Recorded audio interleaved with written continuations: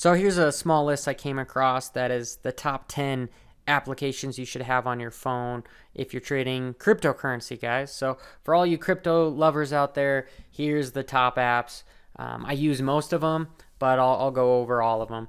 Blockfolio, it's one of my top three. Awesome application for somebody that is doesn't have a whole lot of coin. I mean, even if you have a lot of coins, it's just you got to add everything together and manually input stuff. It's a little tedious, but the app works just fine.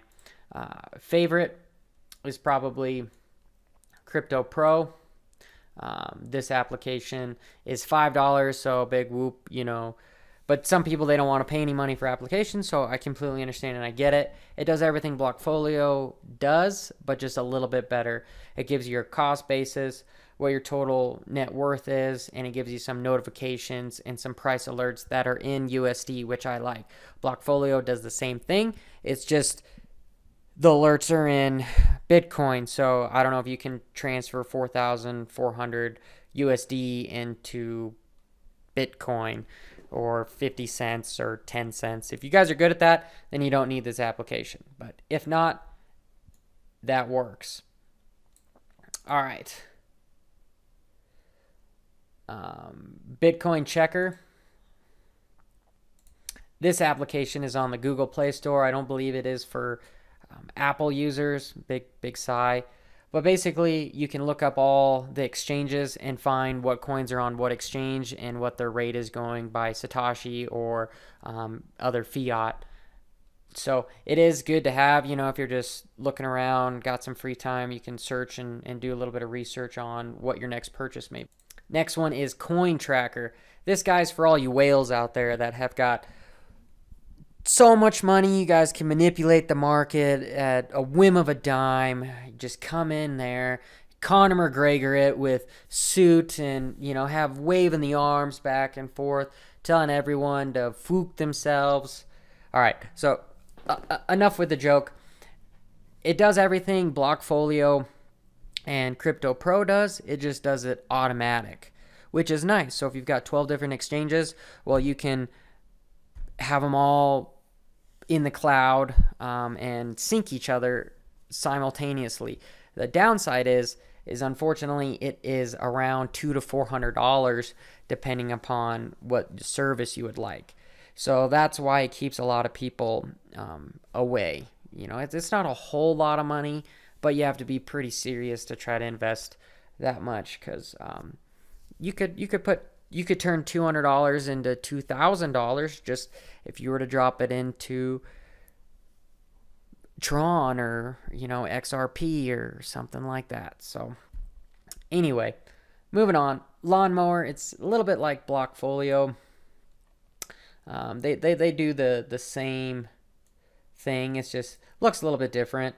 Uh, depends on what interface you want. Um, so you know they'll tell you I kind of think it reminds me of the way Robinhood looks like. I don't know if you guys have got any brokerage accounts, but uh, that's an exchange that they have on the App Store for the New York Stock Exchange, and it, it looks fairly similar to this. Um, it does have some nice features with um, the pie charts, and um, hey, it looks like it it tracks stocks as well, not just uh, crypto.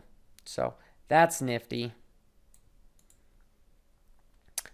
Z Trader. This application is the reason why I'd like an Android. Freaking Apple ties everything down so much on the hardware, I mean, the software. Nobody's been able to jailbreak an iPhone, it seems, in like ages.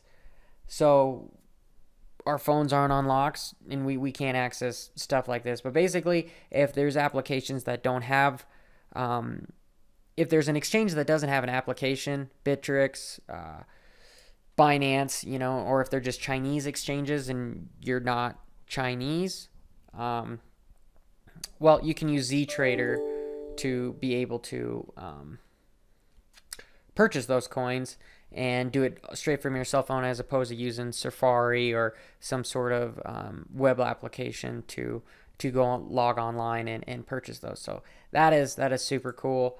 I do like this.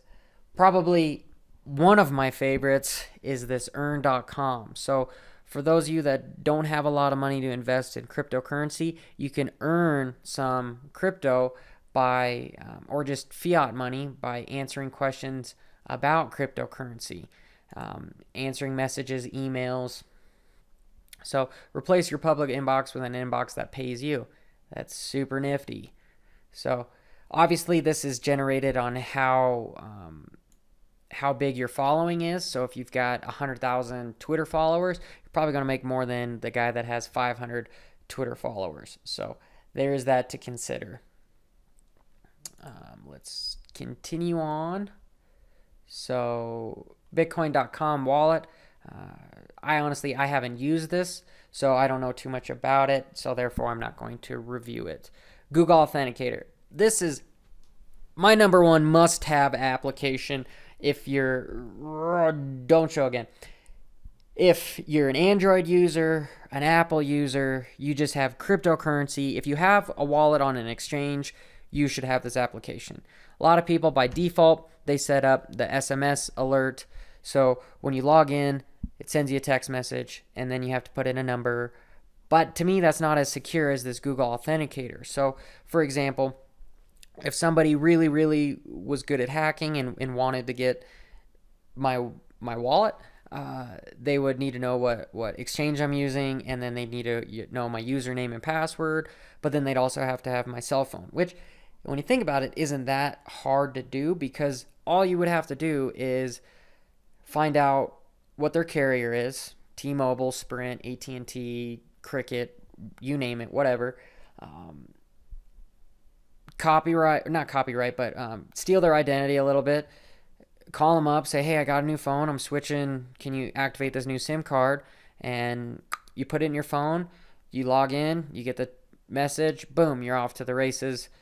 You got their wallet. You can move everything out and untraceable. With Google Authenticator, it's a two factor authenticator. So when you log in, it's asking for a six digit code that changes every 15 seconds. It's really simple to set up on your exchange. You just would have to go to settings and take a quick picture of a, a QR code with this application, and boom, you have it. So somebody would actually have to have your physical login information for Google Authenticate. Excuse me, for that to work. So those are my top 10. I hope you guys enjoyed it. Let me know if there's another application that you use out there that is works better than the ones that were listed. Um, and you know, I look forward to reading the comments below answering some questions and learning some more information. And we're growing as a community together, guys. So until next time, this is Johnny signing out.